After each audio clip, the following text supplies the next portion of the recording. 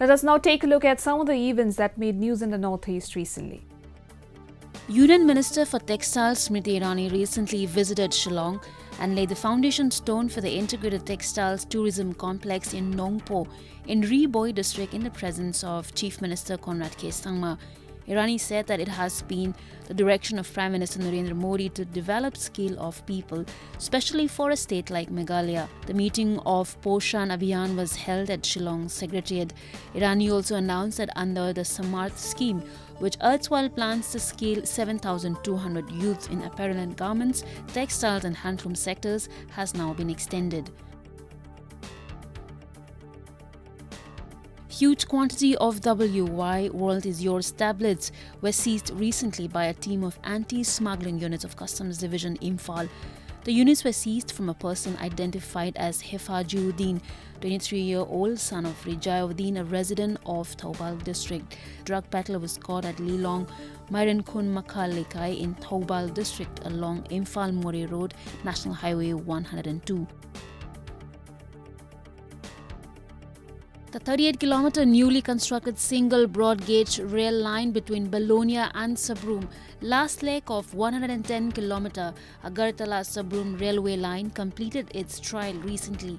Railway official told that with the completion of the trial on this part, the entire section of the rail line connecting Agartala to southernmost town of Sabroom from where Chittagong seaport of Bangladesh is just 72 km away is commissioned. The new rail link will play a pivotal role in changing the socio-economic status of Tripura, further making the state a gateway to Southeast Asia. Three archers of Assam Rifles who won 5 gold, 3 silver and 1 bronze at the recently concluded the World Police and Fire Games held in China's Chengdu were given a warm welcome upon their arrival in Imphal Airport in Manipur. Rifleman Gurumayum Robert Sharma, 27 from Manipur, bagged 3 medals, while Rifleman Z Dimo from Nagaland clinched 1 gold, 1 silver and 1 bronze medal in the wooden bow events. The lone rifle women Lydia Shimpru, 29 from Manipur, bagged one gold and two silver medals in the women's category in the wooden bow events. All three archers are being trained by 9 sector Assam Rifles in Manipur.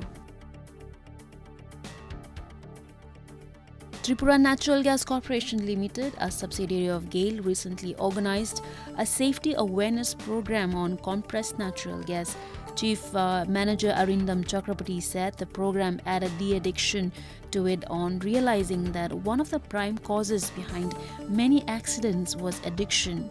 He added that just awareness cannot stop from accidents, rather, the cause has to be identified. Several other line departments, including the disaster and firefighting, also took part in the program.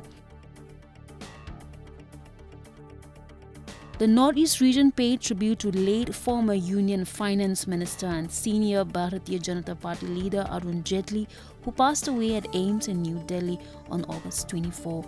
In Tripura, several top leaders, including Education and Law Minister Ratan Lal Nath, Social Welfare and Social Education Minister Santana Chakma, and Tripura West Constituency MP Pratima Bhaumik paid their condolences at the BJP headquarters. Other political leaders of the region also paid tributes to Arun Jaitley. He was 66.